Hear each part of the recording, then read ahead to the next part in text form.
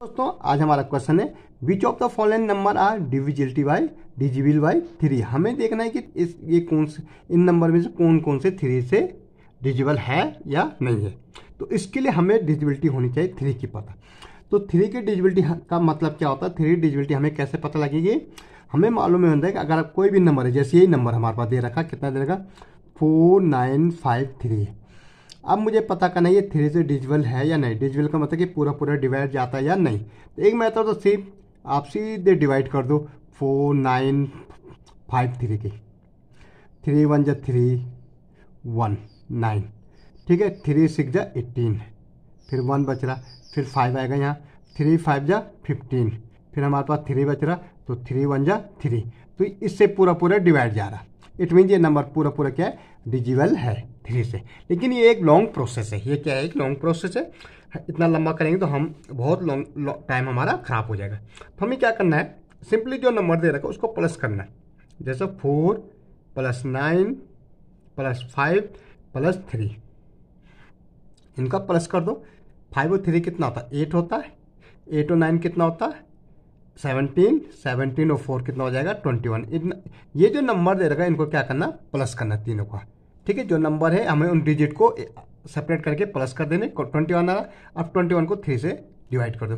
Three seven जा twenty one yes तो हम कह सकते हैं this number is divisible by completely this number is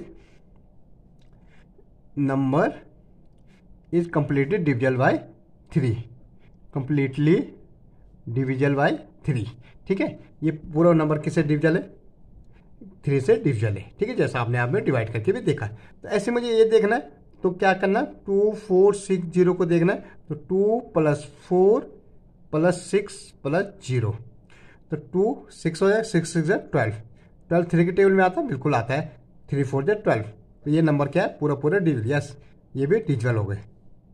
ठीक है? ऐसे मुझे देखना nine plus zero, plus one, plus six, plus two. तो नाइन और एक टेन होता है टेन और सिक्स सिक्सटीन और टू एटीन।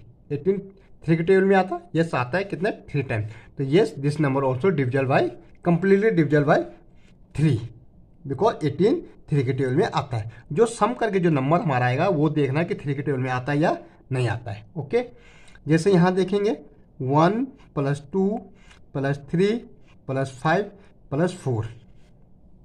अब टू थ्री हो जाएगा three three six six five eleven eleven और फोर कितना होता है? फिफ्टीन तो फिफ्टीन के थ्री के टेबल में आता है? यस थ्री फाइव से फिफ्टीन तो ये भी क्या है? डिजिटल है यस दिस इज़ डिजिटल ठीक है? ऐसे हम यहाँ देखेंगे। Nine plus three plus six plus one plus two nine और थ्री कितना होता है? ट्वेल्व होता है। ट्वेल्व और सिक्स एटीन एटीन एक नाइनटीन ट्वेंटी ट्वेंटी वन। तो ट्वेंटी वन थ्री के टेबल में आता है कि नहीं आता? आता है, बिल्कुल आता है। थ्री सेवन जा, ट्वेंटी वन। तो this number also divisible by this number also divisible by three ठीक है? डिविजल बाई थ्री तो हमने देखना कि प्लस करके जो हमारा नंबर आएगा, वो थ्री के टेबल में आ रहा है तो पूरा पूरा नंबर किससे डिविजल हो जाएगा? थ्री से डिविजल तो थैंक यू